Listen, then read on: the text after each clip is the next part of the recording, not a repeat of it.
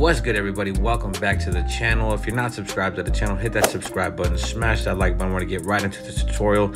Uh, in today's hair tutorial, we have a uh, the beginning of a mullet for my client here, and uh, what we're gonna do is start off by combing the hair and directionalizing it the way that it needs that the way that it naturally wants to lay. So we're saturating the hair with water. And the first thing I'm gonna do is I'm gonna make a traveling guideline uh, down the center of the hair. We're gonna start off uh, towards the the cowlick at the back and work our way to the front of the head.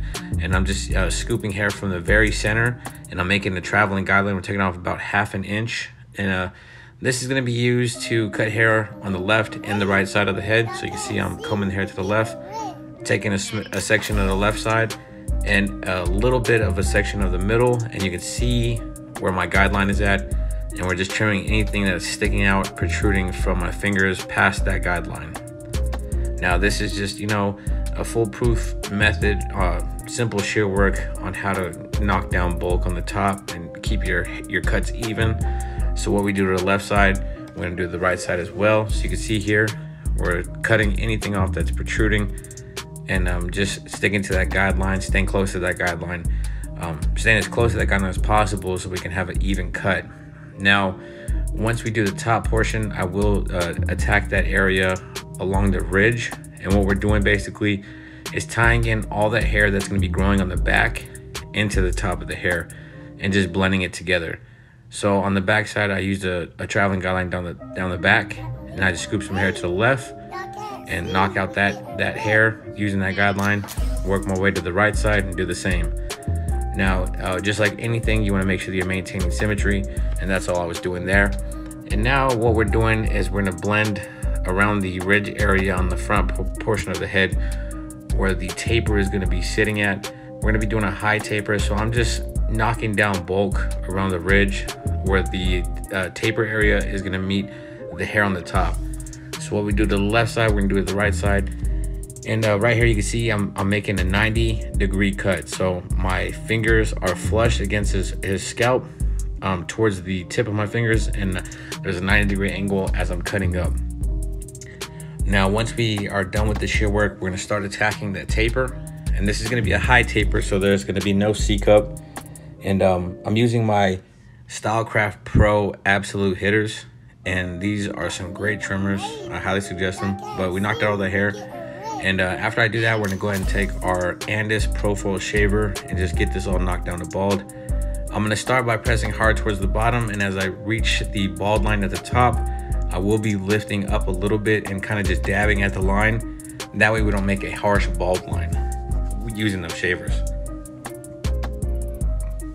Now the next thing we're gonna do is gonna use our JRL 2020s. If you have not seen my review on these, I'll leave a link in the corner. You can check those out.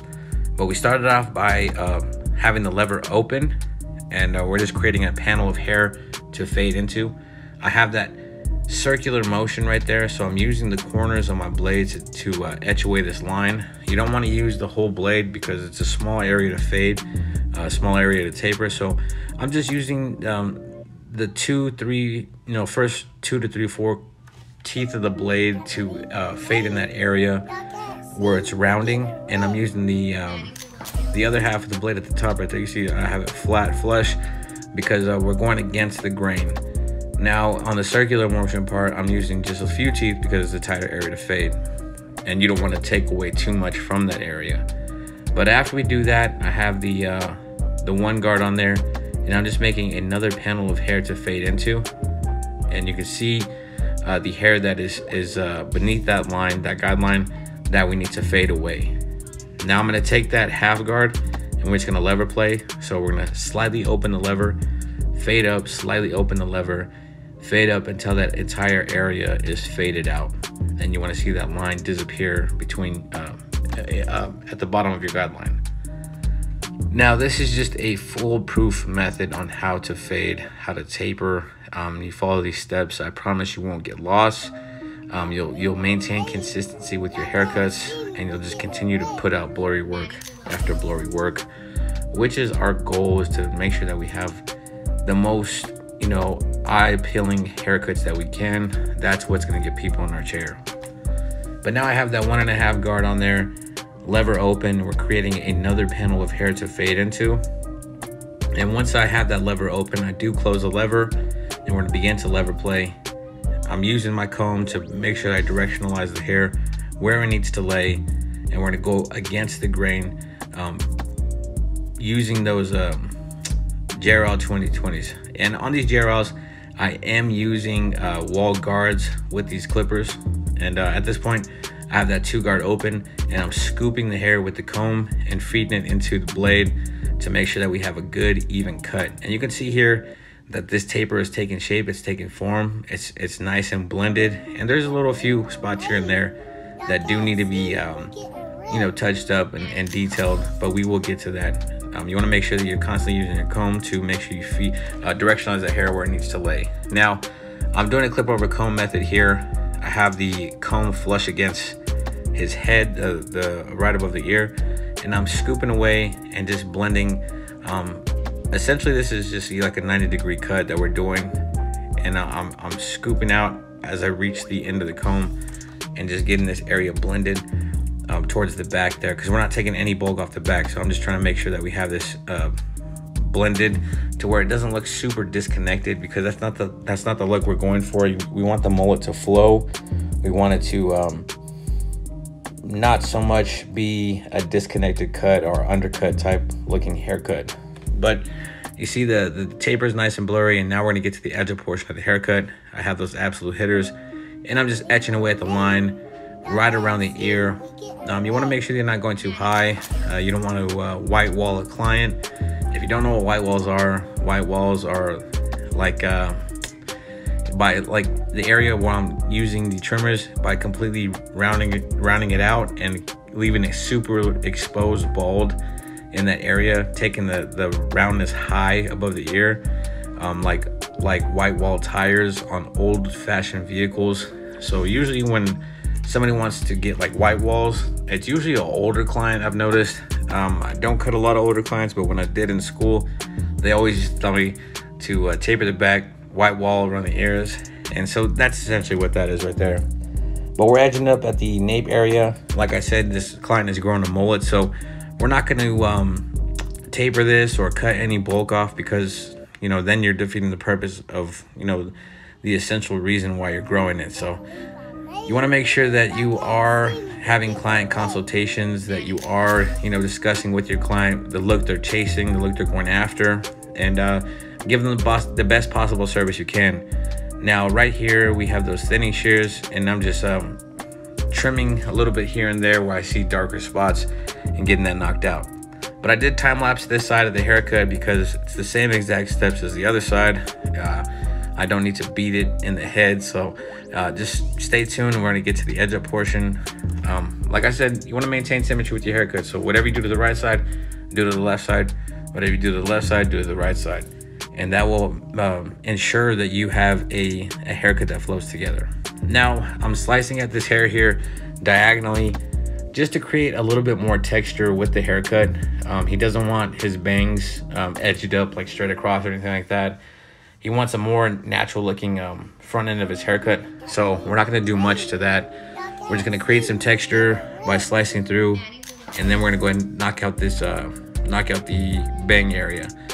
Now with the bangs, I'm not gonna make a, a super harsh, a blunt cut that, you know, is gonna leave a super, super precise uh, edge up in the front.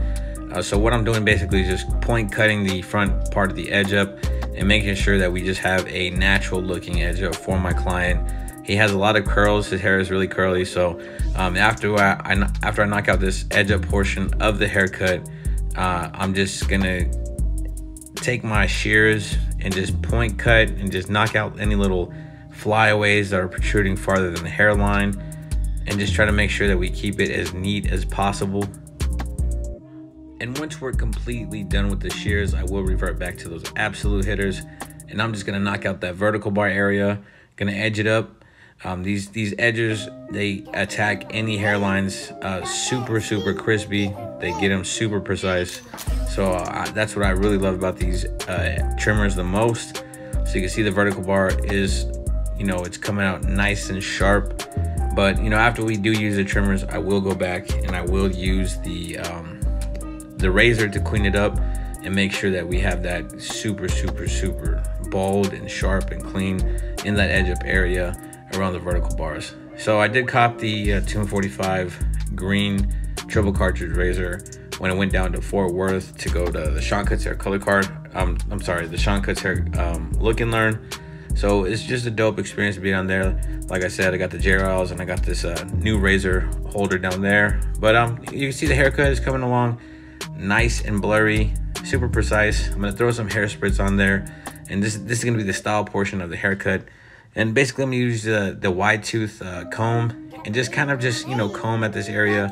Um, go diagonally, go straight, and just create some texture on the top using those white wide teeth on that comb and just to make it give give it a, a, a more natural messy you know type look something you know less um, cosmetic so to speak but you can see you know got a great looking cut going here he's got a great start to his mullet but that's the haircut uh, appreciate everybody for tuning in today. If you're not subscribed to the channel, hit that subscribe button, smash that like button. Got more content coming soon.